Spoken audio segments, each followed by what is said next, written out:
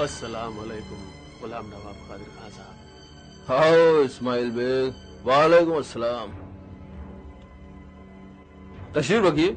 शुक्रिया। आपने कुछ रोज पहले महाजी सिंधिया को खत भेजा था।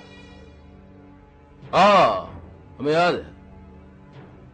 हमने लिखा था कि हमारे वालिद जाब्ता खान का तो इंतकाल हो गया है। अब आप वकील मुतलक की हैसियत से हमें रोयल गन का सूबेदार तस्लीम कर लीजिए। उस खत के जवाब में महाजी सिंधिया ने लिखा है कि अगर आप उनके पास तशरीफ़ लाएँ तो वो आपकी सूबेदारी का परवाना जारी कर देंगे। हैं? हमारी सूबेदारी का?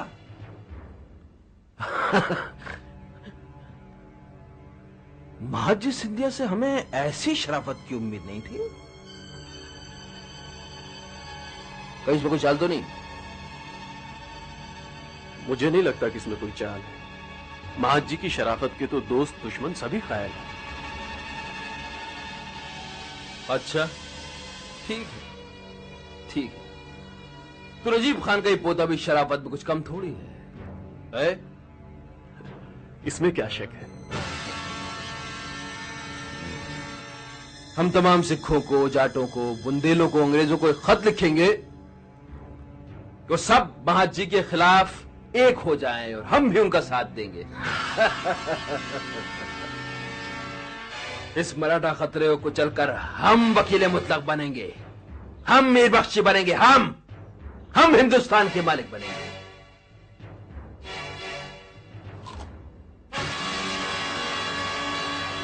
प्रणाम महाराज। नवाब गुलाम कादिर खान साहब और उनके सालार इस्माइल बेग साहब तशरीफ़ ला रहे हैं। अच्छा। आने दो जो आ गया।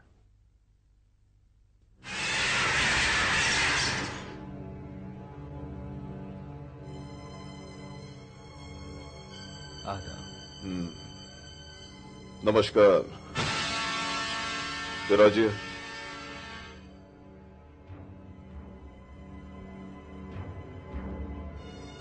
हमारे इस तरह निमंत्रण पर आपको अचंभा तो हो रहा होगा। जी हाँ। आपने हमारे दादा नजीब खां मरहूम से अपने भाई दत्ताजी सिंधिया के इंतकाम का अहद किया था। और हम समझ रहे थे कि उस इंतकाम की चिंगारियाँ अब तक आपके दिल में सुलग रही होंगी। और आप हमें रोहेलखंड का सूबेदार तो नहीं बनने देंगे। नवाब गुलाम कादिर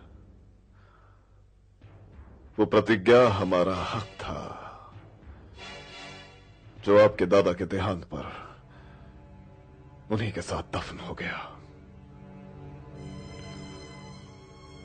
रोहेलखंड की सूबेदारी आपका हक है जो आपको मिलकर रहेगा।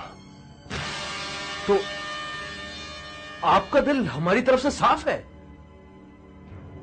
जहाँ तक जाती मामला है हमारे दिल में आपके लिए कोई क्रोध नहीं है।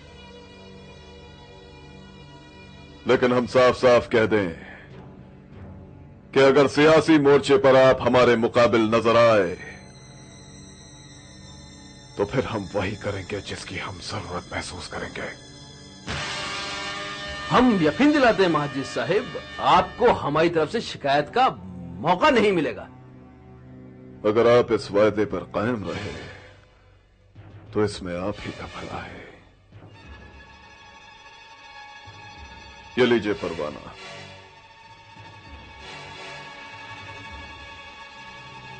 अब मुगल सल्तनत की तरफ़ से आपको पठानों का सरदार